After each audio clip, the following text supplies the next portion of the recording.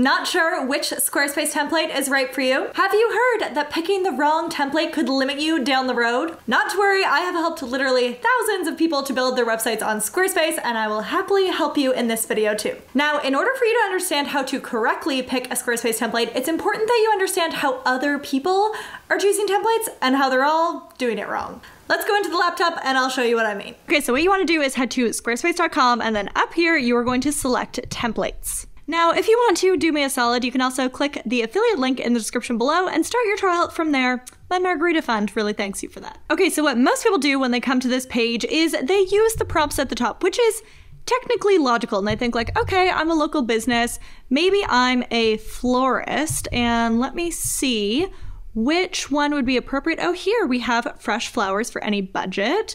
And so they preview this one and they think like, okay, I'm a florist. This is clearly the demo content shows a florist website.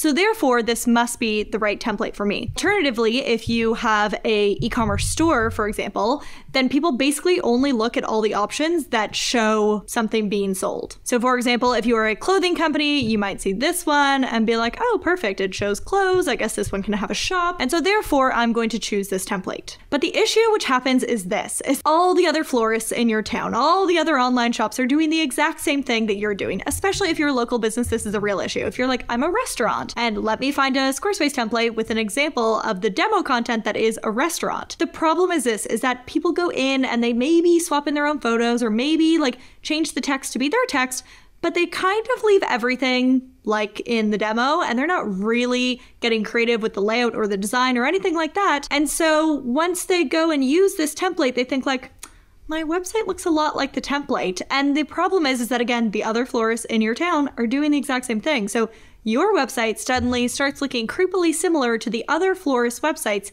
in your area, and that's not really what you want to go for. So, my encouragement for you is this do not pick the template based off the example demo content. If it fits what your business is, that's almost a reason to not use it because that's probably what all your competitors are doing. Instead, what I do want you to do is this. Let's say, I'm gonna go back to templates. And then as we scroll through, what I want you to look for is the vibe and the style that you're looking for. So the reason for this is, is that when it comes to creating your website, if you choose it based off the style, so all the style settings are set inside automatically. Let me show you this one. So let me start with this design. And so what's already been set here for you is like the font styles, the colors, the spacing of things, those bits and pieces are all already set in the style editor. And so what you want to do when you're building your website is to add in your own content. And I don't want you to just follow the like, okay, well, they have a photo here and they have text here, so I'm just going to swap in my own stuff because then yes, your website looks exactly like the template because you just use the template layout.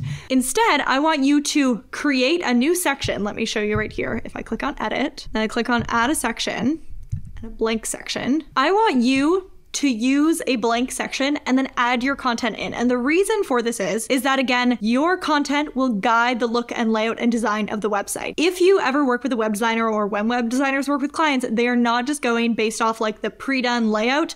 They are creating the website based off the content, not trying to like squish the text into a certain area that's been like created in the pre-done layout. But coming back to my point on you want to choose the website based off the site styles. Yeah, I'm gonna come back over here and go into design and site styles. And then in here, you have the option to change a bajillion things. You can change the colors, you can change the fonts, you can change all the bits and pieces. Really, you can change pretty much everything. the reason to pick the template based off the styles and not the demo content is one, other people aren't going to be thinking to do this. Your website's not going to look like everyone else's in your industry and in your local area. And two, because it just takes you way less time to actually fiddle around with all the site styles and settings. So if you really love the vibe and the look of the style of this website, of this template, then it just means that you're going to spend less time going through the bajillion font options, going through all of the different color settings and everything, and all the different button styles and bits and pieces, it just means that you're going to spend less time changing the styles of the website. The other thing which I want you to understand is that you could technically take one template and make it 100% into another template. What I mean by that is There are no certain features or functionality which are only available in one template which aren't available in another one. If I literally took all of the content from this website right here, the Eldridge template, if I took all of this content, all the site styles, the colors, the everything, I could then recreate the exact Eldridge template on the Aduma template, for example. So again, you are not limited on features or functionality or layout or anything based off the template. So truly, once you choose the template, you have complete freedom with what it's going to end up looking like. The thing is, again, just choose it based off the styles that you like the most because it just means less time with actually building and designing the site. Now you know how to pick the right template, there's still one rather large task in front of you. And that is learning how to actually use Squarespace and build your website on the platform. Lucky for you, I put together a Squarespace crash course video. Watch this video next and you will be navigating around the Squarespace editor as if you've done it for years.